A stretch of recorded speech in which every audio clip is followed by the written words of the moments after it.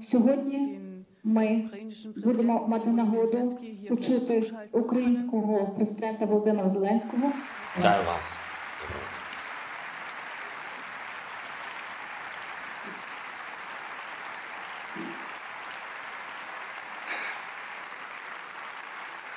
Вітаю також посла України в Німеччині, доктора Андрія Мельника. Дякую, що ви тут. Пане президенте, вам слово. Дякую, шановна пані президент Герінг Екарт, шановний пан канцлер Шольц, шановні пані та панове депутати, гості, присутні, журналісти, шановний німецький народе. Звертаюсь до вас після трьох тижнів повномасштабного вторгнення російських військ в Україну. Після восьми років війни на сході моєї держави на Донбасі. Я звертаюся до вас, коли Росія бомбардує наші міста, руйнуючи усе, що є в Україні. Все житлові будинки, лікарні, школи, церкви. Все ракетами, авіабомбами, реактивною артилерією. За три тижні загинули дуже багато українців, тисячі. Окупанти вбили 108 дітей посеред Європи. У нас у 22-му році. Я звертаюсь до вас після чисельних зустрічей, переговорів, заяв і прохань після кроків на підтримку, які деякі з яких запізнілі, після санкцій, яких очевидно замало, щоб зупинити цю війну. І після того, як ми побачили, скільки зв'язків ваші компанії залишили з Росією, з державою, яка просто використовує вас і ще деякі країни, щоб фінансувати війну. За три тижні війни за наше життя, за нашу свободу ми переконались у тому, що відчували раніше, і що ви, напевно, поки що не всі помічаєте, але ви ніби знов за стіною.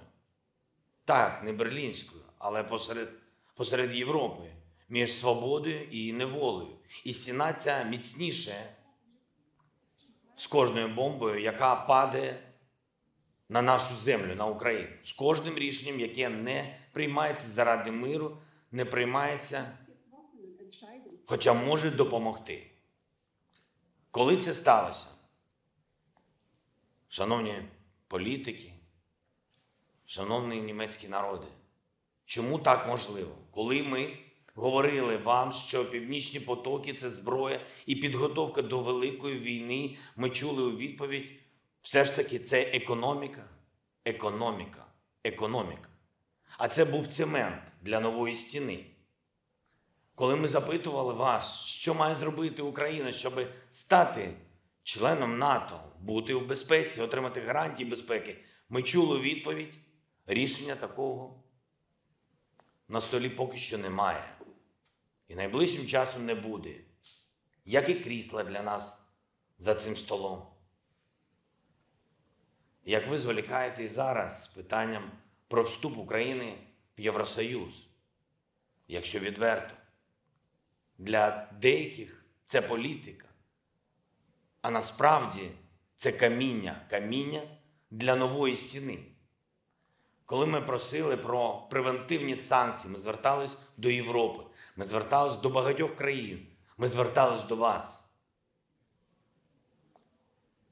Санкції такі, щоб агресор відчув, що ви сила. Ми бачили затягування, ми відчули спротив, ми зрозуміли, що ви хочете продовжувати економіку, економіку, економіку.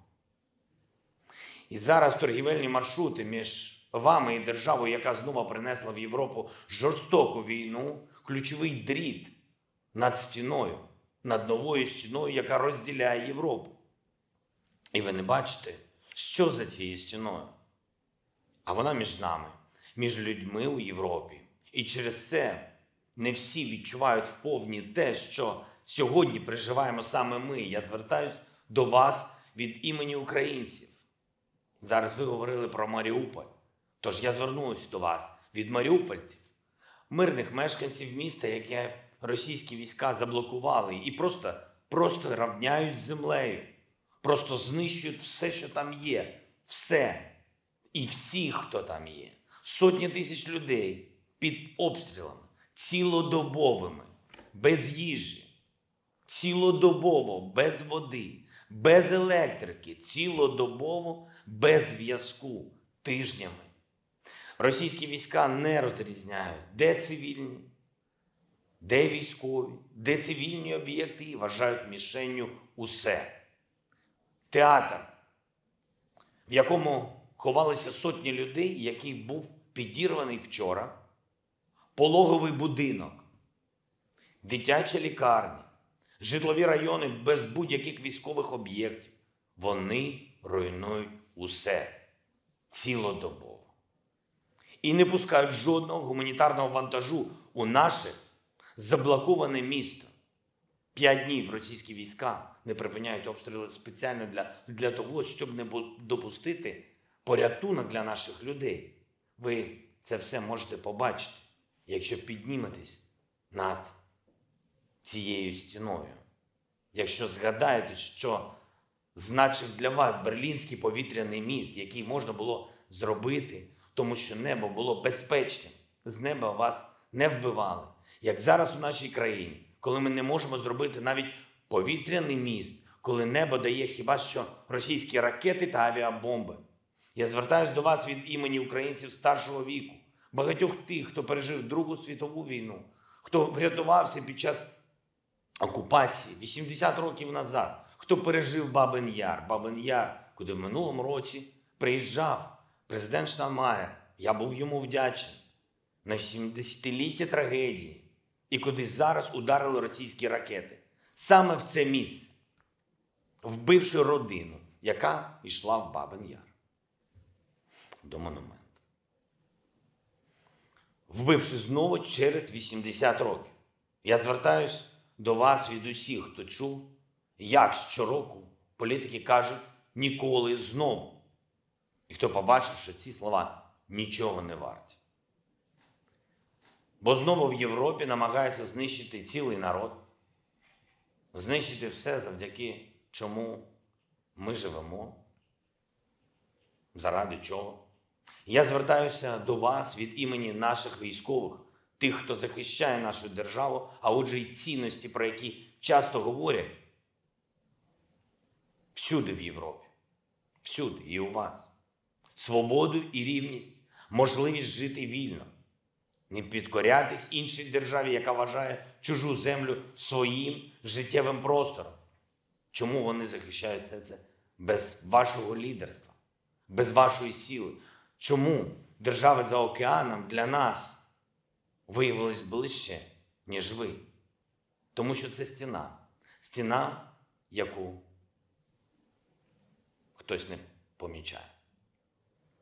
Але об яку б'ємося ми, поки воюємо за те, щоб зберегти свій народ.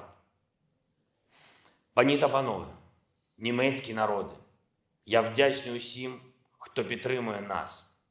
Я вдячний вам, звичайним німцям, які щиро допомагають українцям на вашій землі, журналістам, які роблять свою справу чесно, показуючи усе зло, яке Росія принесла до нас. Вдячний тому німецькому бізнесу, який поставив мораль і людяність вище за бухгалтерію, вище за економіку, економіку, економіку.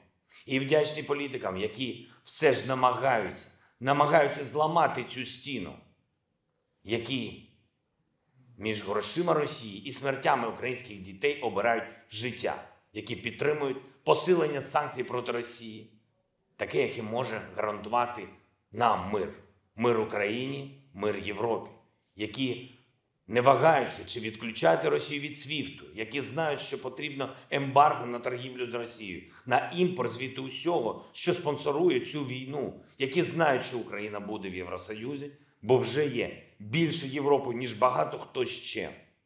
Я вдячний усім, хто є вищим, ніж будь-які стіни, і хто знає, що на сильнішому і відповідальності більше, коли йдеться про порятунок людей. Нам складно вистояти без допомоги світу, без вашої допомоги. Складно захищати Україну, Європу без того, що ви здатні зробити, зробити, щоб не озиратись ще й після цієї війни, після зруйнованого Харкова. Вдруге, через 80 років після розбомблених Чернігова, Сум, Донбасу. Вдруге, через 80 років після закатованих вбитих, вбитих тисяч людей. Вдруге, через 80 років.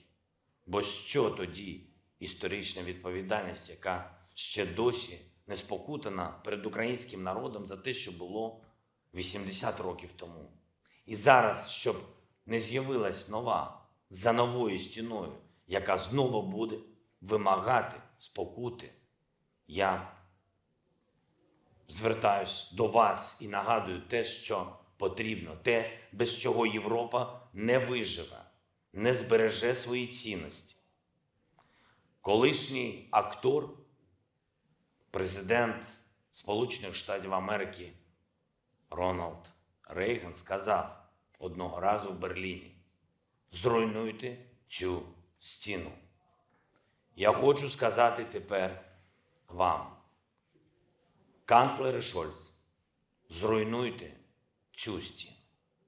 Дайте Німеччині лідерство, якого ви заслуговуєте, і чим ваші нащадки будуть тільки пишатись. Підтримайте нас, підтримайте мир, підтримайте кожного українця.